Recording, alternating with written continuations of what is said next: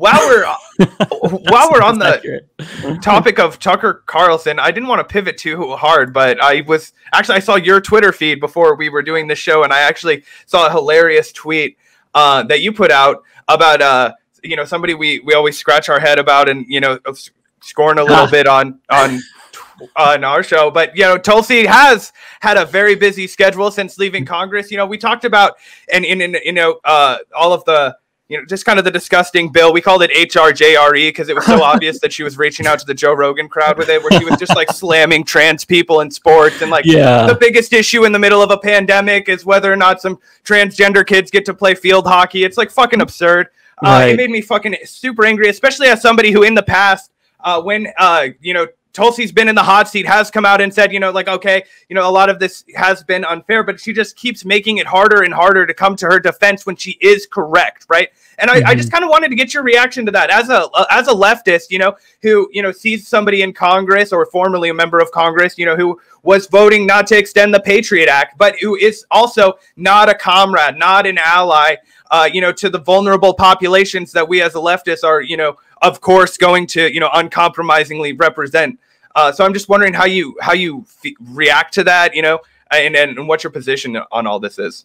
Yeah, I think that you have the right take. Like she's not a comrade. You know, she if you are a leftist, there's certain things that I think are non-negotiable. You you have to be an ally to trans people and vulnerable communities. You have to be explicitly anti-fascist. Like these are just my standards. Like there's no like you know pledge that we have to sign but i sure. think it's pretty obvious right? at the secret antifa meeting you didn't sign the, the pledge.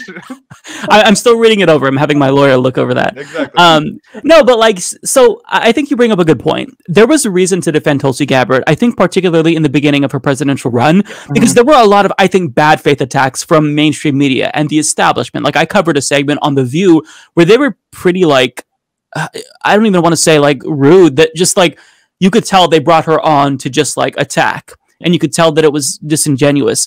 But ever since then like she's taken a lot of horrific turns that are red flags that some people are choosing to ignore. Like the first thing was the bds vote where she basically voted to silence dissent. I mean this was an, a resolution sponsored by AIPAC that tells you everything you need to know. So that was like the first red flag. Then she moved away from Medicare for all, and now she's it's going on this Australian plan. Yeah, mm-hmm. right. Which it doesn't make sense to me. Like, why? Okay, well, Australia has this, and they have private insurance. Every single single payer national health system has some elements of private insurance, but like, I don't, I don't want that. Like, we're trying to build a better system. We're yeah. not like like if you have private insurance and you're truly anti-capitalist, you know that those private forces are going to water down your plan. Like the minute we pass Medicare for all, it's going to be an attack nonstop to defend against it, and we're going to have to defend that. So like there are a lot of things that were extremely questionable, and the anti-trans uh, bill to me was just like full mask off. So yeah. there, there's no defending. There's no plausible deniability. She's a fraud. Um, and, and so like right is that is that the vibe I'm getting from you? I kind of I kind of see that like she started a podcast and she's going on these right wing tours. And to me, like I, I, don't look if you go, I'm not one of those folks who think, okay, you went on Tucker Carlson's show, that's inherently bad. It depends on what you say, right? Sure. So like if Kyle Kulinski, Katie Halper, Nomiki Konst go on and they push back on these programs and they promote a left wing agenda, so they basically exactly. tell conservatives the opposite of what they usually hear. I think that's incredibly useful and valuable. But Tulsi Gabbard isn't doing that. Like she is trying to build an audience, and this is the folks who she wants in her audience. She's trying to find people in the Steven Crowder audience. yeah, that's she's trying to do the Bret Weinstein thing where you you do the whole I used to be a liberal and now they're so crazy that I'm running to these fascists for hugs. Like yes. it's so it's so ridiculous, right? Like, you know, uh, Gavin and I were just talking about like the Tim Pool spiral. Apparently Tim mm-hmm. Pool used to, you know, fancy himself a leftist, you know, but that's not where the money in it money is, right? You know. So yeah, I, I yeah, I, I'm just wondering, you know, does it make you kind of and it, it certainly made me, you know, backtrack everything because the first kind of you know positive you know reaction I had to Tulsi and the reason why I was like maybe this is a person with principles was because she did stand up uh, for Bernie Sanders nominally. Yeah. And exactly. you know, and, and I think now I, I view it more as standing against Hillary Clinton than I do see it as standing up for Bernie. And mm-hmm. I'm wondering, and maybe I'm taking this too far, but it sort of all unravels for me. And I'm like, does it all come back to this? Was it really you just, you know, taking a shot at Hillary Clinton and then realizing you'd created a lane for yourself that you could make yourself more popular with? You kind of compromised on the shit that wasn't super. I mean, I think I think she's just a contrarian in a sense, in that she'll just kind of say whatever will get her in the news or you know make a headline, and she's ultimately just kind of interested in attention wherever that leads, and, and usually that leads to profit. So uh, yeah. I mean, I think that might be as simple yeah. as it is, but it, it's certainly true that a lot of her um, rhetoric can kind of be seen in that light once you do start to investigate for sure. And, and yeah, I think yeah. I, I, think there are legitimate reasons why people uh, were at one point drawn to her. I mean, she was one of the only candidates that used terminology like military-industrial complex, you know, mm-hmm. stuff like that, uh, things that I care about. So uh, that was you know an initial reason to get on board, and and I thought she was bringing interesting you know conversations to the table at one point. Uh, but yeah, as soon as that anti-trans stuff happened, I was like.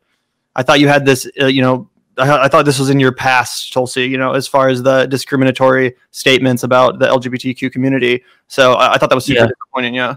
Yeah, totally. And and I don't fault anyone for like supporting her. I am a terrible judge of character, and I always give people the benefit of the doubt. But the minute there's a red flag, then I like, you know, then I start to question. yeah. Um, and I just like I, I saw a couple of responses to that. Like, man, I, I'm embarrassed for like supporting her and volunteering for her.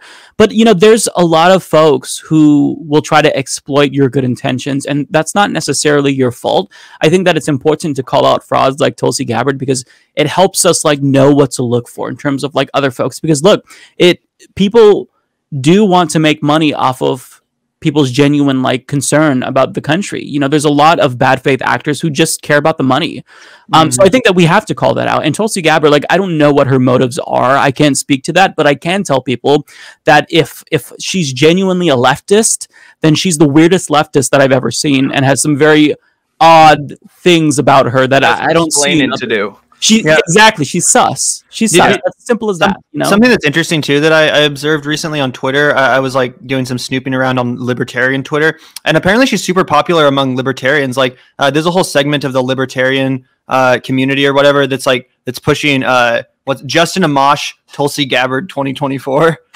So. I've actually seen a, a Tulsi Gabbard, Dan Crenshaw like unity effort. I don't know, like I can't remember the name of the organization. This was like in September when I saw it. I was gonna make fun of it, but I never did. It's like this unity party that they wanted to like create. Everybody that listens to the Joe Rogan podcast a little too much is excited about that. I'm sorry, I don't mean to keep making Joe Rogan jokes, but they write the they make themselves when you talk about the. They do. It's like a very select group of people that are kind of like anti-establishment, yeah. relatively. But it's popular. also like I still want to like hang out with this guy because he's a billionaire and like send you know. Right, right. yeah, yeah.